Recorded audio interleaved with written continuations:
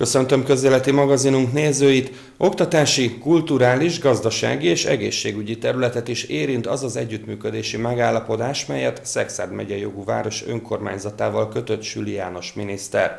Az ünnepélyes aláíráson elhangzott, az atomerőművi blokkok létesítése nem csak Paks, hanem az egész régió számára fejlődési lehetőséget jelent. Süli János miniszter és Ácsezső polgármester is ellátta kézjegyével azt a megállapodást, mely majd keretet adhat a következő évek együttműködésének. Ez keret megállapodás egyébként, amely az együttműködés feltételrendszerét határozza meg, de természetesen azért vannak jól meghatározható területek, ilyen például a szakképzés, a képzés egyáltalán mint olyan, az egészségügyi ellátásnak a fejlesztése, szórakozási lehetőség, kikapcsolási lehetőségeknek a bővítése. Tehát alapvetően igyekeztünk minden olyan területet figyelembe venni, amely az ide települő munkavállalók számára majd fontos lehet és vonzóvá teheti esetleg a várost. Ebből talán én kiemelném a gazdaságfejlesztés szakképzés kérdését, hiszen egyrészt érdekünk az, hogy minél több fiatal szakembert hozzunk ide a városba, minél több fiatal szakembert képezzünk így Szexárdon is, és ezek a fiatal szakemberek aztán majd a szexuális vállalkozások számára megfelelő munkaerőállományt jelentsenek a jövőben is. Ebben ez az együttműködési megállapodás sokat tud segíteni de nagyon fontos az is, hogy innovációban Tolna megye Szexárd az elmúlt években azért nem volt túl erős, és a Paksi együttműködésnek köszönhetően volt húsipar területen egy IQ központ kialakítására kerül sor, kifejezetten kutatásfejlesztéssel, innovációval foglalkoznak majd a szakemberek, ez pedig új szint hoz a városgazdaság életébe, és biztos vagyok benne, hogy a mellette található ipari park betelepülése szempontjából egy fontos vonzerő lehet az, hogy az IQ központban mondjuk olyan fiatal szakemberek, olyan speciális tudással rendelkező szakemberek jönnek majd ki, akik a betelepülő cégek, vállalkozások számára vonzó célponttá tehetik Szexárdot, és én azt gondolom, hogy ez összességében tovább győző hatását tekintve jelentős kihatással, befolyással bír majd a városra, de természetesen mi nem várjuk tátott szájjal a lehetőségeket, hiszen mi szeretnénk előre gondolkodni és előre menekülni, így például mondjuk a gazdaságfejlesztés szempontból nagyon fontos az, hogy a Kesei útnak a teljes felújítása megtörténjen az autópálya és a város határa között, illetve a majdani elkerülő útnak a végpontját, egy körforgalmat a Tornatei húsipar környékén ki fogunk alakítani, és ezzel is talán egy kicsit segítjük azt, hogy a majdani elkerülő ami a város szempontjából azt gondolom, hogy nélkülözhetetlen nagyon fontos, ez mielőbb megvalósuljon, illetve az, hogy a terület, amely ott az ipari park és a környékén kialakuló gazdasági területet jelenti majd, az logisztikai szempontból jó helyszínen, jól megközelíthető helye legyen, és mindenki számára elérhető célpontot jelentsen. De ha már beszéltünk munkaerőállományon, akkor arról sem szabad megfeledkezni, hogy akik dolgoznak majd az építkezésen, vagy éppen a működtetésen, az ő családtagjaiknak is megfelelő lehetőségeket kell biztosítani.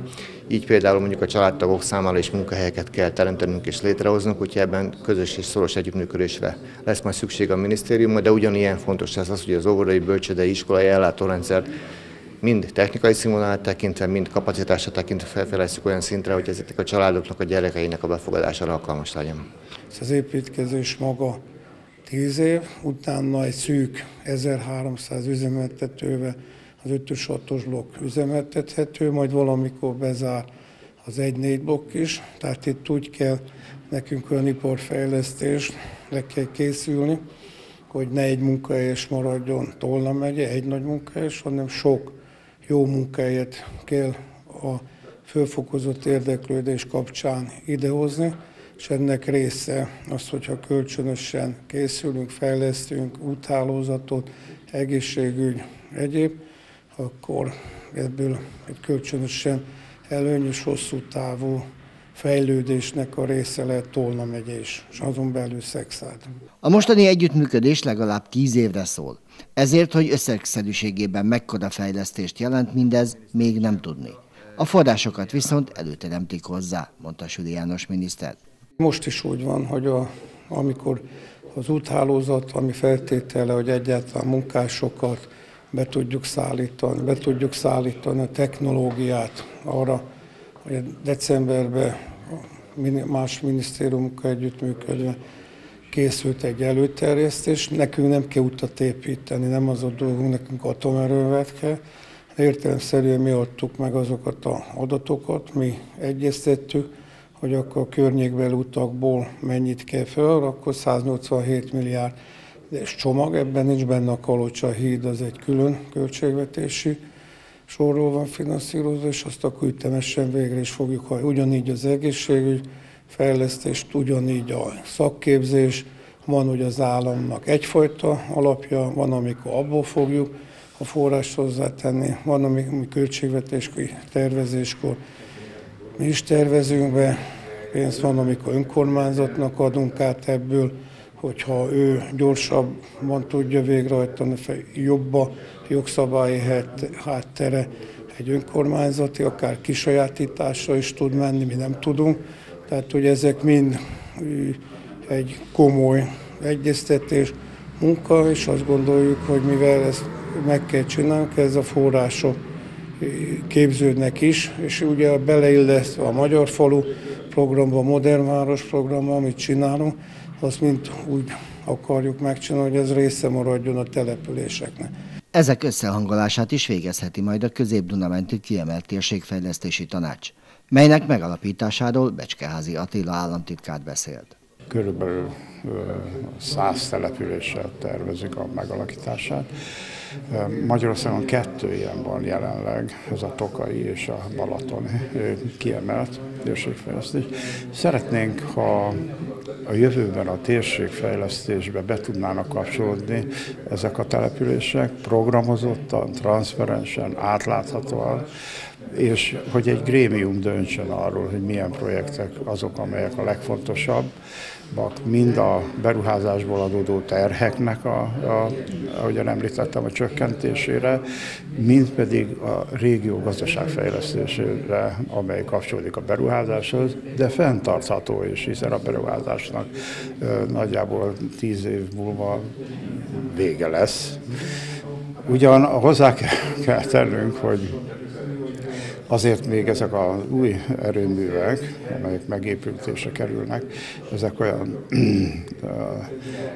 40 éves ciklusra minimum működés képesek, nagy biztonsággal, illetve majd a régi erőműveknek a lebontásához is kell kapacitás, kell munkaerő, kellenek vállalkozások. Tehát ez a térségnek 60 éves program, azt hiszem a jövőben. Somogy, Tolna, Baranya és Bácskiskun megyékkel már korábban együttműködési megállapodást kötött Süli János miniszter, valamint az utóbbi napokban több egyetemmel, köztük a Pécsi Tudományegyetemmel is írásba foglalták a lehetséges közös munkakereteit. Egy átlag angol vagy nyugat-európai ember rosszabbul él, mint négy éve. Ezzel a korábbi Fidesz szlogennel összegezte Kiszeli Zoltán a jelenlegi helyzetet. A politológus Dombováron Potápi Árpád János országgyűlési képviselő vendégeként tartott fórumot. Azt mondja, ha reálisan nézzük, a bevándorlás ellenes erők egyharmados eredményt elérhetnek az Európai Parlamentben, ami már egy blokkoló kisebbség lehet. A politológus szempontjából elsősorban az európai erőviszonyok változása érdekes a közelgő európai parlamenti választásokon, illetve annak hatása az európai politikára, mert könnyen lehet, hogy a választás után kormányok és pártszövetségek bomlanak fel, új pártok alakulnak, amit pedig elemezni való a politológusok számára. A szavazásig hátralévő időben viszont a jó szerepét is betöltik, mindenki tőlük próbálja megtudni, milyen eredménnyel végződhet majd a voksolás. Reálisan kell látni a helyzetet, a nyugat-európai politikai elit leszerepelt. Tehát az akármennyire is hihetetlen egy magyar állampolgár számára, de egy átlag amerikai, angol vagy nyugat-európai rosszabbul él, mint négy éve, ha csak nem orvos, szak, IT szakember vagy hiány szakmában dolgozik, és igazából a nyugat-európai elit nem tud jó alternatívát kínálni, ezért szavaznak protestpártokra, olyan pártokra, amelyek nem a hagyományos pártok, nem Angela Merkelre, Martin Schulzra szavaznak, hanem a protestpártokra, bevándorlás ellenes pártokra, és azokra a pártokra, amik a változást akarnak. Azt kell látni azonban, hogy ezek a pártok hiába erősödnek meg, hiába gyengül, gyengül Angela Merkel pártja, ön 20-30 százalékot fognak tudni elérni az Európai Parlament, ami egy nagyon nagy arány. Itt az a kérdés, hogy lesz-e egy harmaduk, mert az már egy blokkoló kisebbség lenne. Például a Sargentini jelentést is kétharmaddal fogadták el. Tehát ha ezek a Brüsszel kritikus pártok összességükben két-három frakcióban kétharmad, egyharmadot szereznek, akkor a kétharmados bevándorláspárti többséget le tudnák blokkolni. Ez egy reális eredmény egyébként. A bevándorlással szembeni kritikusság Nyugat-Európában, Amerikában már átbillent. És olyan tömegben érkeznek emberek, akár Amerikába, akár Nyugat-Európába, hogy ez teljesen felborította a nyugat-európai hétköznapokat, a bevándorlók általában a nagyvárosokba költöznek, Berlinbe évente 40 ezer ember költözik be, németek, külföldiek egyaránt, azonban csak 15 ezer lakás épül. Ez azt jelenti, hogy eddig 400-500 euróért lehetett lakást bérelni, most már 700 és 1000 euró között van egy átlagos lakás havi bérleti díj, amit már nem tudnak úgy kifizetni a németek, mint korábban a 400-500 eurót. Ezért nagyon sokan a bevándorlókat hibáztatják, egyébként joggal, hiszen egy ellenőrizetlen beáramlás az nem jó. És hát ugye erre rakódnak rá további konfliktusok, és ezek azok, amikre a nyugat-európai bevándorlásbarát politikusok nem tudnak jó választ adni. Ezért keresnek a polgárok új válaszokat. Hát azt látjuk, hogy Magyarország a visegrádiak erre adtak egy választ, hogy a saját családainkat kell támogatni, a gyermekvállalást kell támogatni, és nem idegen népességet kell nagy számban beengedni. Erre már 2016-ban népszavazáson is több mint 3,3 millió ember mondott igen, illetve a választásonokon is azt látjuk, nem csak Magyarországon, hogy ez a téma már meghatározó, tehát Svédországtól egészen Hollandián át, Olaszországig az összes választáson ez a kérdés a meghatározó, és már Németországban is a németek 54%-a azt mondja, hogy nem kérnek több bevándorlást. Erre azt mondják nekik Merkel kancellár, hogy a másfél millió helyett idézőjelben csak 180 ezer migráns kaptok évente.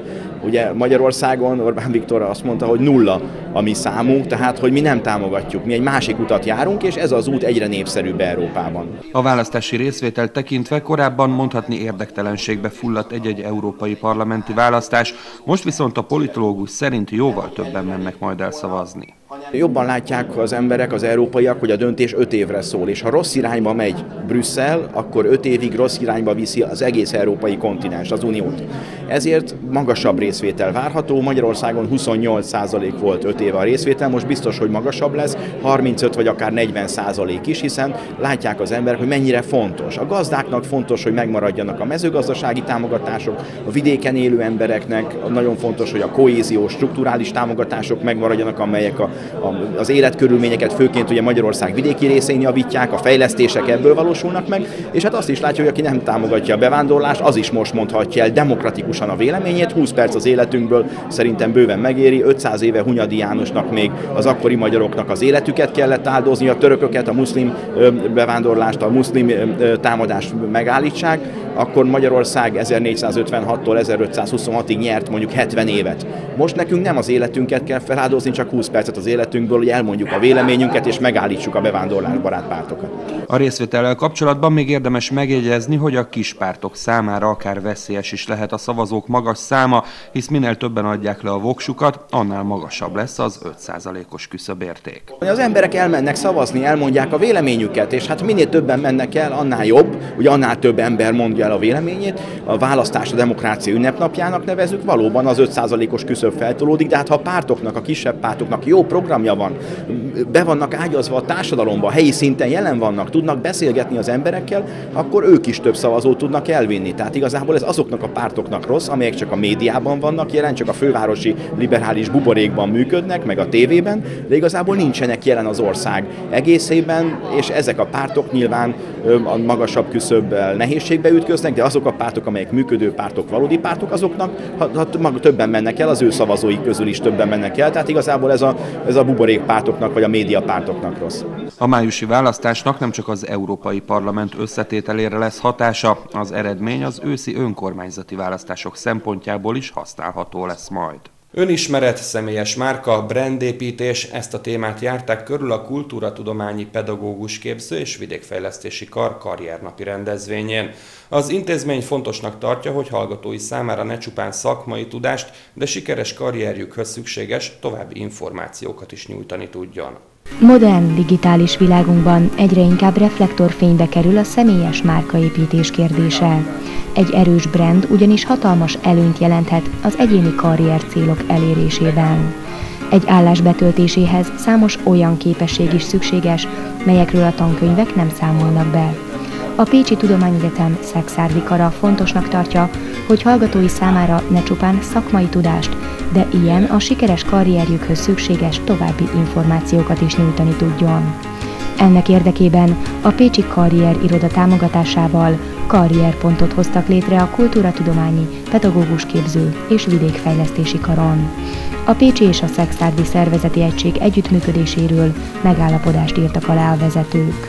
Nagyon fontos az, hogy a karrieriroda hálózatosodjon, és azok a kollégák, akik tudnak abban segíteni, hogy a diákok a Pécsi Tudományegyetemről ne csak egy jó minőségű diplomával hagyják el a padokat, hanem tényleg olyan jártasságokra tegyenek szert, olyan készségekre, amelyek a munkaerővilágában majd segíteni fogják az elhelyezkedésüket, olyan tanácsadást kapjanak, és olyan orientációkat kapjanak, amelyek segítik majd a, a karrierjük felépítését valójában, azok elérhetők legyenek, és tényleg kézzelfoghatóak legyenek. Tehát a karrieriroda évek óta egyébként, régen az Oktatási Igazgatóság keretében, most pedig az új kapcsolat és nemzetközi esítési igazgatóság keretében folytatja ezt a munkáját, és nagyon örülünk, hogy Szexádon is megnyílik egy ilyen pontként nevezett, de egy fontos, kb. a hálózatnak egy nagyon fontos elemeként megnyílik egy olyan koordinációs részlegközpont, amely pontosan itt Szexádon ugyanezeket a tevékenységeket tudja elősegíteni. Az együttműködés közös kommunikációt, pályázatok benyújtását és több közös program megvalósítását jelenti. Az ünnepélyes aláírást követően a hallgatók rögtön részt is vehettek egy ilyen közös programon. A karriernapon a karriertervezés és felépítés legfontosabb dimenziói vetődtek fel. Önismeret, személyes márka, brandépítés. A nap során a szakemberek személyes történeteken keresztül járták körül a témát, és kezdeményeztek interaktív beszélgetéseket a hallgatósággal. A szervezők a jövőbeli tréningeket, workshopokat is hasonlóan kötetlen jellegűre, közvetlen hangneműre tervezik, tekintettel a célzott korosztályra. Karrierpont lényege, hogy karunk hallgatóbaráttá váljon. A hallgatóbarát kar egy olyan kar, amelyik nem csupán tudást ad át a hallgatóknak, hanem olyan képességeket, készségeket, amelyekkel boldogulni tudnak majd karrierjük, életpályájuk építésekor. Hogyan kommunikáljanak, hogyan tájékozódjanak a munkavilágában, hogyan képviseljék érdekeiket, ha kell, a munkáltató irányába, és így tovább, és így tovább. Ezeket a képességeket, készségeket úgy gondoljuk, hogy olyan tréningeken, workshopokon át tudjuk eljuttatni a hallgatókhoz, amelyeket a karrierpont, a karrierirodával együttműködve tud megvalósítani. Ezek a programok folyamatosak, minden hallgatót várunk rá, sőt, nem csak hallgatókat, oktató kollégákat is, és örülnénk annak, hogyha a karrierirodával együttműködve a beiskolázási program elemévé is válna ez a karrierpont, ami annyit jelent, hogy nem csupán egyetemi hallgatókat, de középiskolásokat is várunk a Karrierpont különböző programjaira, annak érdekében, hogy ők is időben tájékozódjanak, a lehetőségekkel kapcsolatban be tudjanak kapcsolódni az egyetemi életbe, és tudatosan tudják pályájukat irányítani, lehetőleg a karunk irányába.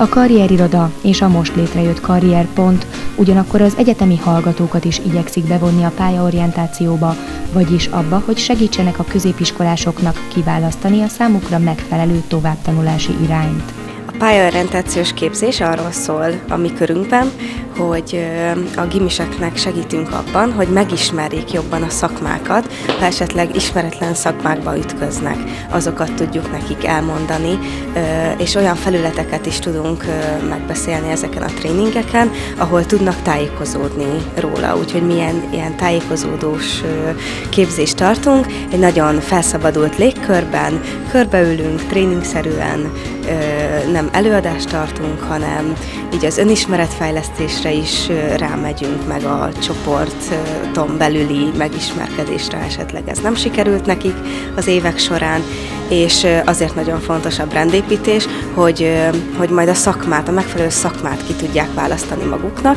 és ezért kell ismerni önmagukat, hogy milyen képességünk van, és ehhez milyen szakmát tudunk választani, és ebben tudunk nekik segíteni.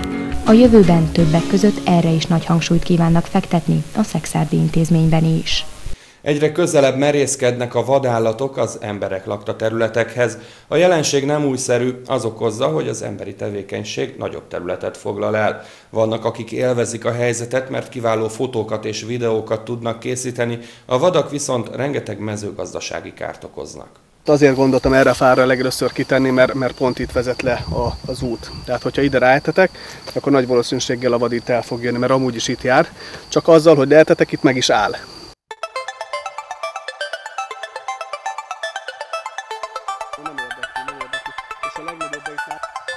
Kukoricát és rejthető vadkamerát helyezett ki mindössze néhány órára a Szexárdi szőlőhegy egy sűrűn lakott részén Makovics Kornél, a természetfotós rajong a vadállatok fotózásáért, ehhez pedig ez az egyik legalkalmasabb módszer.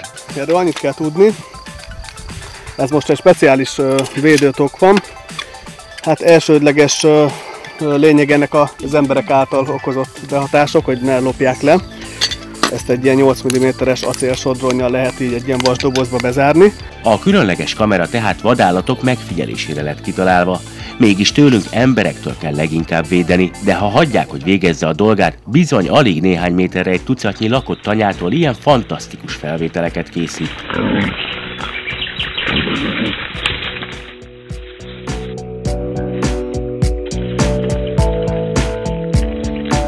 Lényegében borsz kivételével minden jött, tehát jött róka, nyúl, vaddisznó, szarvas, minden van a felvételen. És, és egy ilyen egy ilyen egy kilométeres kis erdősávról beszélünk. A vadállatok jelenléte világosodás után aztán szabad szemmel is láthatóvá válik. A bekerítetlen földeken például Szexárd határában is előszeretettel dagonyáznak a vaddisznó családok. De elég jó fel tudják bolygatni a talajt, miközben keresgetnek. Tehát ilyen valamikor ilyen méter mély kis árkokat is csinálnak, és hát ebből van számos, és és itt látszik a vadcsapás, amiről beszélek, tehát hogy, hogy járkálnak.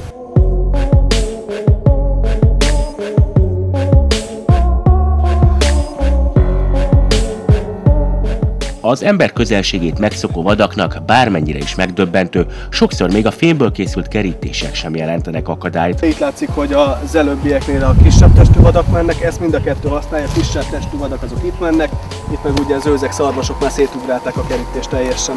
Itt a gazda már próbál, próbált már ellenük tenni valamit, de hát még az oszlopokat is kidöntik.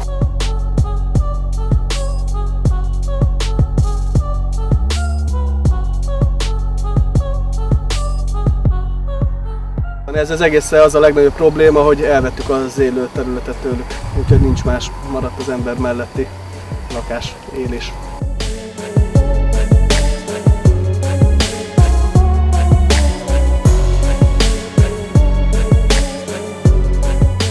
Azt, hogy valójában nem a vadak merészkednek be az emberek közé, hanem éppen fordítva az emberi tevékenység miatt csökken folyamatosan az állatok természetes élőhelye, a megyei vadászkamara titkára is megerősíti. Király István azt mondja, a vadak által okozott mezőgazdasági kár ennek ellenére is jelentős. Országos szinten 2 és 3 milliárd a statisztikai adatok alapján a kifizetett mezőgazdasági vadkár.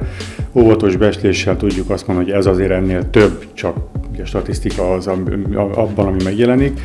Ebből megyénk hát egyre dinamikusabban növekvő számokkal, de olyan jó 200 millió környékén vállal a szerepet, tehát egy kb. 10%-a, de ez a Dél-Dunántúlra jellemző egyébként itt található a legnagyobb ö, nagyvadállomány és ahhoz kapcsolódóan értelemszerűen a vadkár is.